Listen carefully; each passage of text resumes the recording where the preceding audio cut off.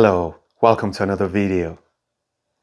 We will find a power series for the function f of x is 2x cubed of arctan of x squared. Um, in the previous video, I showed you how to find the center of convergence, the interval of convergence, and the radius of convergence. But now I'm just going to focus on how to find the power series for this function.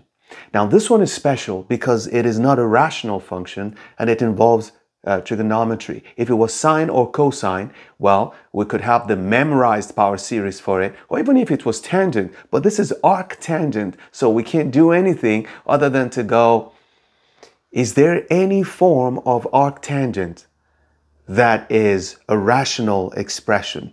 Well, if you recall your pre-calc, not pre-calc, your calculus one, the derivative of arctan is 1 over 1 plus x squared, if you remember. And that's what we're going to do. We're going to say, okay, we don't know how to deal with this, but we're going to deal with the derivative.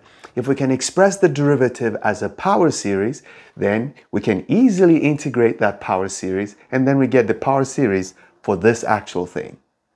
So that's what we're going to do.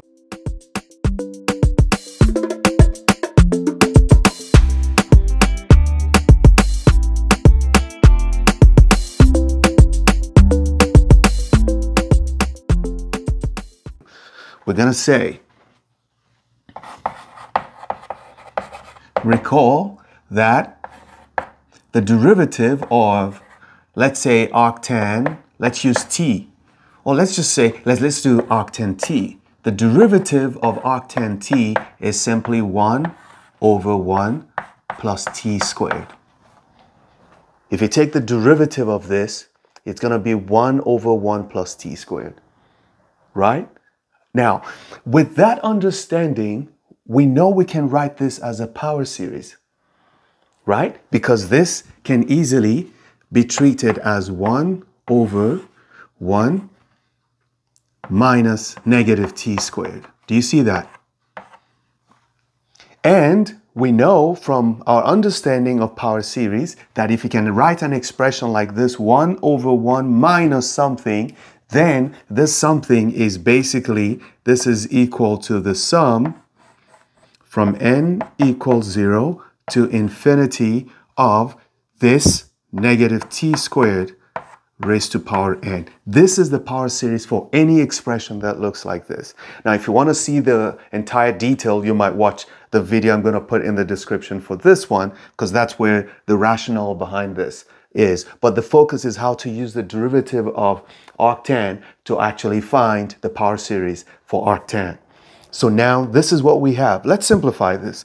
This is going to be the same thing as the sum from n equals 0 to infinity of, if we separate this, we're going to end up with negative 1 raised to power n and t to the power 2n. So what we have right now is the derivative of arctan, but we actually want to get the power series for arctan, not the derivative of it. We want the power series for arctan, not the power series for the derivative of arctan. Okay, so how do we go from derivative back to the function? We take the integral. So we're going to say that arctan t, look, arctan of t will definitely be the integral of this power series, which is going to be the integral from n equals 0 to infinity of this guy, negative 1 raised to the power n times t to the 2n dt. Okay, we have to we have to um, integrate now with respect to t. Don't worry, I'm going to switch everything back to x. But as you can see, it looks like our t is going to be replaced by x squared. That's the old thing. Now, what should you do with this? Don't worry about this. Just leave it. Okay, this is already a polynomial. So remember, the point of a power series is to convert something that's not a polynomial into a polynomial because polynomials are easy to deal with. You can multiply, divide, add, or subtract. Okay, so this is already in the form of a polynomial, but this is not a polynomial, and that's what we need to work on. So at this point, we're to say the integral here is, let's go here. This is equal to, now we can move this integral all the way in here because you see this does not contain t, so it stays. So we can just say this is the integral from n equals 0 to infinity of negative 1 raised to power n, and then we take the integral of t to the 2n um, dt.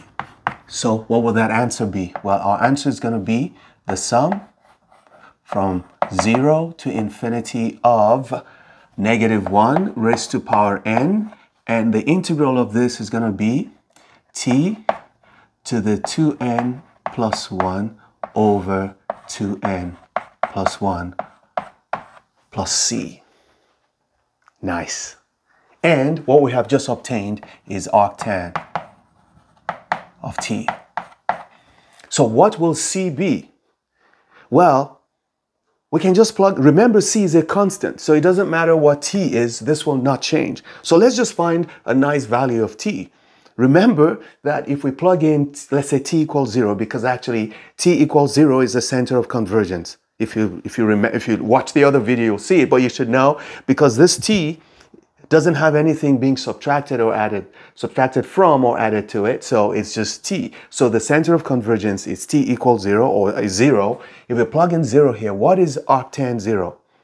It's zero. So you have zero. If we plug in zero here, everything here becomes zero. So zero equals zero plus c. That means c equals zero. So I'm just going to write here, just say c is equal to zero.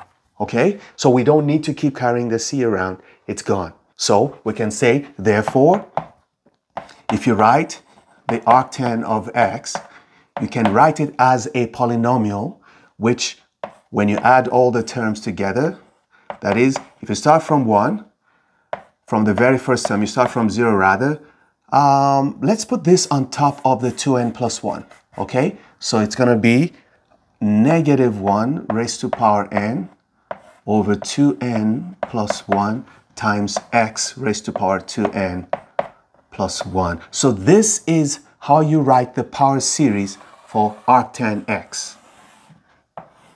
But what we have is not arctan x, it is arctan x squared. Just replace x with x squared. That's the beauty of polynomials, okay? So we can say, therefore, we go here, 2x cubed times the arctan of x squared can be written as 2x cubed multiplied by, this is arctan of x squared. Well, we're going to replace x with x squared. So it's going to be the sum from 0 to infinity of, we have negative 1 over n divided by 2n plus 1. And this now is replaced by x squared. Okay? Raised to power 2n plus 1. See, the only thing I've modified is this. I just changed the x to x squared. Okay? It's just like when they say, what is f of x? You say f of x is 2, 2x. What is f of x squared? It's going to be 2x squared. You just replace the x, okay? So there's like composition of functions. And what do we do here? You notice that this guy can go in here. Everything can go back inside now that we've simplified it. So it's going to be the sum from n equals 0 to infinity. When this 2 goes in here, I think it just sits, yeah, it just sits on top like that. So we're going to write it as, let's find a nice way to write this. Let's write it as, um, let's write the constant first. So let's make it 2 divided by 2n plus 1. And then I'm going to write this. It's going to be negative 1 raised to power n.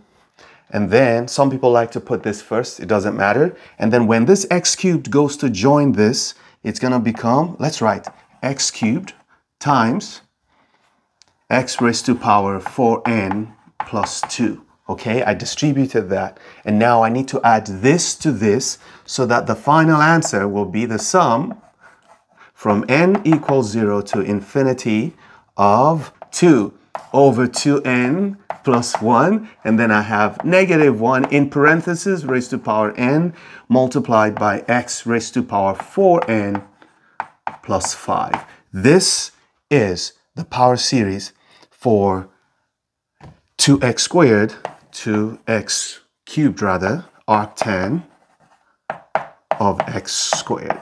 I hope this was helpful. And no matter how complicated, this is what you should do and you'll find your way to the answer. Hope this video was helpful. Give it a like, leave a comment in the comment section, and be subscribed if you're not. See you in the next video. Never stop learning because those who stop learning have stopped living. Bye bye.